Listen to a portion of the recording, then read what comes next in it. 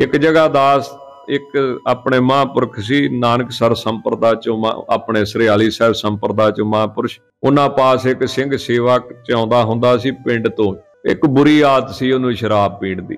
ਅੱਛਾ, ਬਾਕੀ ਉਹ ਕੰਮ ਬਹੁਤ ਸਵਾਰਦਾ ਸੀ। ਪਿੰਡ ਦੇ ਵੀ ਬੜੇ ਸਵਾਰਦਾ ਸੀ, ਫਿਰ ਗੁਰਦੁਆਰੇ ਦਾ ਟਰਾਂਸਫਾਰਮ ਕੀ, ਮੀਟਰ ਕੀ ਜਿੱਥੇ ਸਰਕਾਰੇ ਦਰਬਾਰੇ ਸਾਰੇ ਕੰਮ ਉਹਨੇ ਕਰਨੇ, ਪਰ ਰਾਤ ਨੂੰ ਇੱਕ ਗੰਦੀ ਆਦਤ ਸੀ ਵੀ ਕੋਈ ਨਾ ਕੋਈ ਉਹਨੇ ਖਾ ਪੀ ਕੇ ਪੈਣਾ। ਤੇ ਸਵੇਰੇ ਫਿਰ ਉਹਨੇ ਇਸ਼ਨਾਨ ਕਰਕੇ ਨਹਾ ਧੋ ਕੇ ਉਹ ਫਿਰ ਸਾਰੇ ਪਿੰਡ ਵਾਲੇ ਇਕੱਠੇ ਹੋ ਗਏ ਤੇ ਕਹਿਣ ਲੱਗੇ ਵੀ, ਬਾਬਾ ਜੀ, ਤੁਹਾਨੂੰ ਪਤਾ ਵੀ ਇਹ ਬੰਦਾ ਆਹ ਕੰਮ ਕਰਦਾ। ਉਹ ਕਹਿੰਦੇ, ਪਤਾ ਵਾ। ਕਹਿੰਦੇ, ਜੀ, ਜੇ ਪਤਾ ਵਾ, ਤੇ ਫਿਰ ਕਹਿੰਦੇ, ਜੇ ਇਹੀ ਇਹਦੇ 'ਚ ਇੱਕ ਗੰਦੀ ਆਦਤ ਨਾ ਹੋਵੇ ਤੇ ਇਹ ਬ੍ਰਹਮ ਗਿਆਨੀ ਨਾ ਬਣ ਜਾਂਦਾ।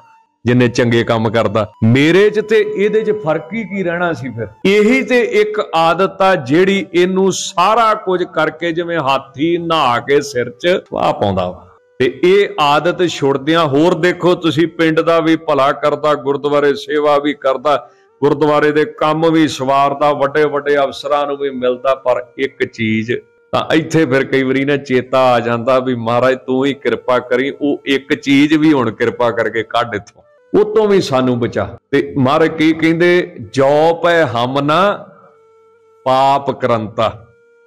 ਅਹੈ ਅਨੰਤਾ। ਹੁਣ ਇਹ ਉਦਾਹਰਣ ਤੇ ਠੀਕ ਸੀ, ਪਰ ਕਈ ਵਾਰੀ ਅਰਥ ਇਹਦਾ ਗਲਤ ਵੀ ਸਿੱਖਿਆ ਜਿਹੜੀ ਹੋ ਗਈ, ਅਸੀਂ ਕਈ ਵਾਰੀ ਗਲਤ ਵੀ ਲੈ ਜਾਂਦੇ ਆ ਕਿ ਅਸੀਂ ਤੇ ਮਾੜੇ ਕੰਮ ਕਰਨੇ ਕਰਨੇ, ਤੂੰ ਆਪੇ ਸਾਂਭ ਸਾਨੂੰ, ਤੂੰ ਆਪੇ ਸਵਾਰ ਸਾਨੂੰ। ਜੋ ਪੈ ਹਮ ਨਾ ਪਾਪ ਕਰੰਤਾ। ਅਹੇ ਅਨੰਤਾ, ਪਤਤ ਪਾਵਨ ਨਾਮ ਕੈਸੇ ਹੁੰਦਾ ਤੁਮ ਜੋ ਨਾਇਕ ਆਸ਼ੋ ਅੰਤਰ ਜਾਮੇ, ਪ੍ਰਭ ਤੇ ਜਨ ਜਾਨੀਜੈ ਜਨ ਤੇ ਸੁਆਮੀ। ਨੌਕਰ ਵੱਲ ਵੇਖ ਕੇ ਪਤਾ ਲੱਗਦਾ ਕਿ ਮਾਲਕ ਕਿੱਡਾ ਉੱਚਾ ਵਾ ਇਹਦਾ। ਤੇ ਮਾਲਕ ਵੱਲ ਦੇਖ ਕੇ ਪਤਾ ਲੱਗਦਾ ਕਿ ਜੇ ਮਾਲਕ ਇਦਾਂ ਦਾ ਹੋਊਗਾ ਤੇ ਨੌਕਰ ਕਿਦਾਂ ਦੇ ਹੋਣਗੇ, ਤਾਂ ਮਹਾਰਾਜ ਕਹਿੰਦੇ ਪਤਾ ਲੱਗਦਾ ਹੈ।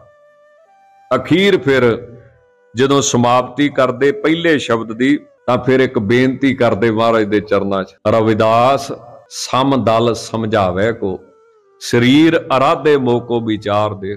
ਮੈਨੂੰ ਕੋਈ ਇਹੋ ਜਿਹਾ ਪਰਮੇਸ਼ਰ ਦਾ ਪਿਆਰਾ ਮਲਾਓ, ਜਿੰਨਾ ਚਿਰ ਮੇਰਾ ਸਰੀਰ ਰਵੇ, ਮੈਂ ਰੱਬ ਦਾ ਨਾਮ ਜਪ। ਜਿਵੇਂ ਆਪਾਂ ਇੱਕ ਬੇਨਤੀ ਕਰਦੇ ਨਾ, ਮੰਗਲ 'ਚ ਸਾਰੇ ਬੜੇ ਪ੍ਰੇਮ ਦੇ ਨਾਲ, ਵੀ ਭਾਵੇਂ ਸਰੀਰ ਦੁੱਖ 'ਚ ਹੋਵੇ, ਭਾਵੇਂ ਸਰੀਰ ਸੁੱਖ 'ਚ ਹੋਵੇ ਏ ਵਾਹਿਗੁਰੂ, ਤੂੰ ਸਾਨੂੰ ਭੁੱਲੀ ਨਾ। ਤੇਰਾ ਨਾਮ ਅਸੀਂ ਜਪਦੇ ਰਹੀਏ। ਜਾਂ ਇੱਕ ਜਗ੍ਹਾ ਮਹਾਰਾਜ ਜੀ ਨੇ ਇਦਾਂ ਵੀ ਲਿਖਿਆ ਵੀ ਬੰਦੇ ਬੰਦਗੀ ਇਖਤਿਆਰ ਸਾਹਿਬ ਰੋਸ ਧਰੋ ਕੇ ਪਿਆਰ ਰੱਬ ਭਾਵੇਂ ਤੇਰਨਾ ਗੁੱਸੇ ਹੋਵੇ, ਭਾਵੇਂ ਰਾਜੀ ਹੋਵੇ, ਤੂੰ ਭਾਵੇਂ ਦੁਖੀ ਹੋਵੇ, ਸੁਖੀ ਹੋਵੇ, ਤੂੰ ਬੰਦਾ ਵਾ, ਤੇਰਾ ਕੰਮ ਕੀ ਆ? ਤੂੰ ਮਾਲਕ ਦੀ ਬੰਦਗੀ ਕਰ। ਨੌਕਰੀ ਤੂੰ ਕਰਦਾ ਪਿਆ, ਉਹਦੀ ਤੇ ਉਹਦੀ ਬੰਦਗੀ ਕਰਨਾ ਹੀ ਤੇਰਾ ਫਰਜ਼ ਹੈ, ਉਹ ਭਾਵੇਂ ਤੇਰੇ ਗੁੱਸੇ ਤੇ ਭਾਵੇਂ ਰਾਜੀ।